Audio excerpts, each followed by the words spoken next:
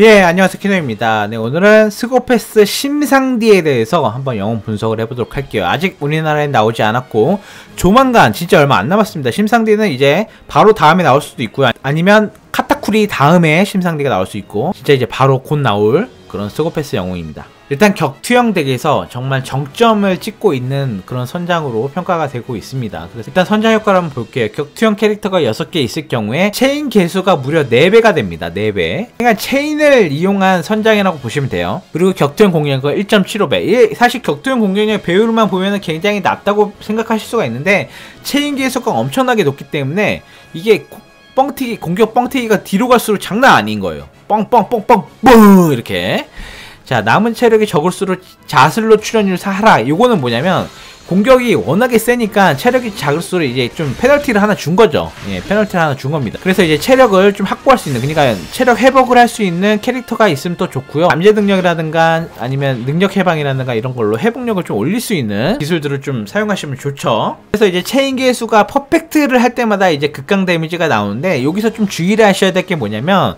미스를 할 경우에 제가 자주 하는 미스를 할 경우에는 공격력이 완전 사망이 된다 이렇게 볼 수가 있고요. 이제 체인 개수랑 관련된 거기 때문에 약점으로 생각을 한다면 이제 체인 개수 증가량이라든가 아니면 체인 개수 고정이라든가 이런 스킬들을 상대방이 썼을 때 그럴 때는 심상디가 이제 굉장히 곤란해집니다. 그래서 심상디 선원에는 그것을 좀 해제할 수 있는 선원이 있는 게 좀 중요하겠죠.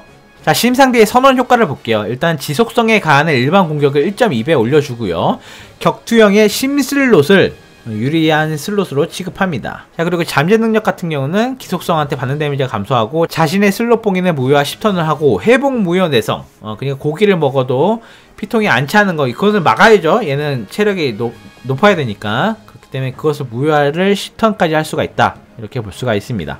자 심상디의 필살기를 한번 볼게요. 적 하나한테 공격력 150의 심속성 데미지를 가하고요. 필살기의 발동 때 체력이 50% 이상일 시 격투형 공격 2.25배. 심상디 선장 효과를 아까 설명드렸을 때도 체력이 높아야 된다고 제가 몇 번이나 말씀드렸기 때문에 요거는 이제 체력 50% 이상은 계속 유지를 하실 수가 있을 거고요. 그래서 공격력 2.25배 그거 상당히 높습니다. 배율이 상당히 높은 편이고요 그리고 자신이 선장일 경우에는 체인 개수 고정과 증가량 감소 상태를 10턴 회복한다. 제가 아까 말씀드렸던 단점이죠. 그래서 심상디가 한 번은 이걸 회복할 수가 있어요. 그래서 한 번 정도는 크게 문제가 없는데 바로 다음에 또 어, 그런 공격을 당하면 그것을 풀 수 있는, 그것을 해제할 수 있는 선원이 한 명은 필요하겠죠.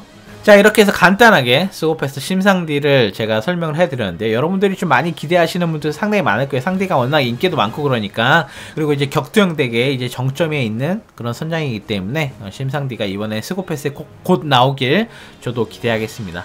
예 지금까지 키노였습니다. 감사합니다